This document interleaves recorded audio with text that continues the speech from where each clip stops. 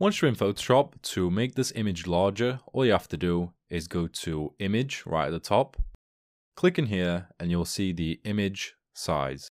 If you wanted to, you can use the shortcut, which is Alt, Control, and I.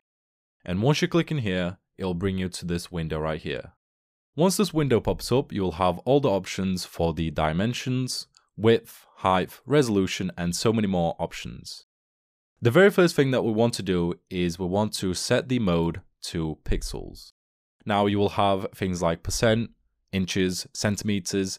Personally, I would recommend pixels. It's just a lot easier to learn and understand. So once you've set it to pixels, you want to leave the fit to original size. And we're going to move on to the most important thing, which is the width and the height. When it comes to these two, you can either keychain them together. So you can click on the chain and this will make it so that it locks in the aspect ratio. So what this basically means is if you're going to increase the width to something like 3648, you can see it now becomes very wide and it loses the aspect ratio. So we'll want to make sure that we take the chain first and then we type in 3648 and that is basically close to 4K.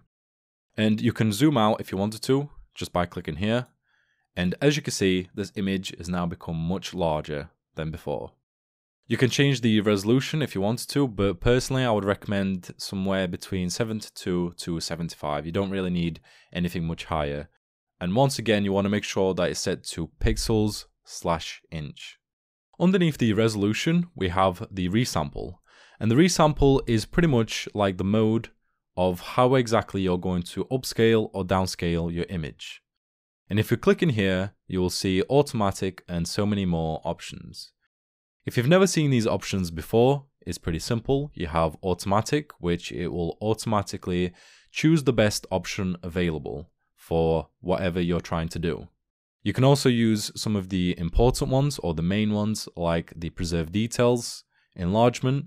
This is the early version of Adobe Sensei, which uses AI to upscale or downscale an image. And you've got yourself the latest version, which is the 2.0, and this is the more recent version.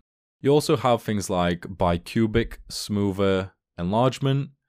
You also have the sharper reduction and some of the other options which are for other things. For example, the nearest neighbor, this one would be for things like pixel art and anything that has pixels which need to stay hard on the edges. So the best option for this one and enlargement is definitely the preserve details 2.0 because it will use AI to preserve the details and make it as sharp as possible without affecting the quality as much. And then finally, we have reduce noise. Now, this is if you've got yourself a little bit of grain or noise in the background or anywhere in the image, you can simply increase the slider and this will make it so it reduces that noise in the image. Once you're happy with your results and you've had a look at your image, you've zoomed in and you've zoomed out and everything looks great, you can then go ahead and click on OK.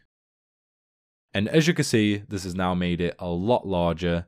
We can press Control or Command and zero, and this will fit it to the screen so we can see the whole image on view. And there you go, there you have it. If we zoom in, you can see it may look a little bit weird because we've upscaled a small image to something much larger.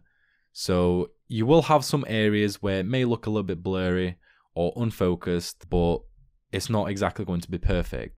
And that is pretty much it. That's how you upscale or downscale an image in Photoshop. I hope this video was helpful. If it was, give it a thumbs up. And yeah, I will see you all in my next video. Bye.